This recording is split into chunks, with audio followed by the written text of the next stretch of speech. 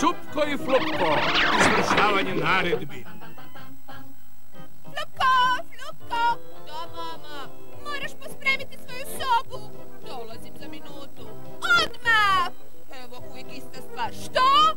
Ništa, idem je pospremiti.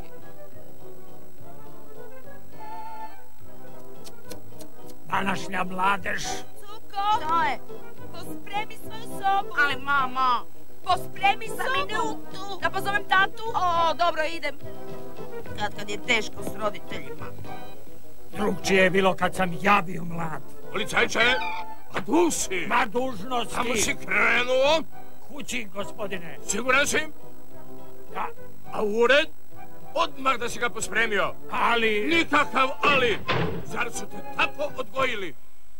Prevela Suzana Keleković, glasovi Oto Levaj, Nada Abrus, Vjenceslav Kapural, Edita Majić, majstor zvuka Đurđica Mandić, urednica Vesna Sudar, obrada Hrvatska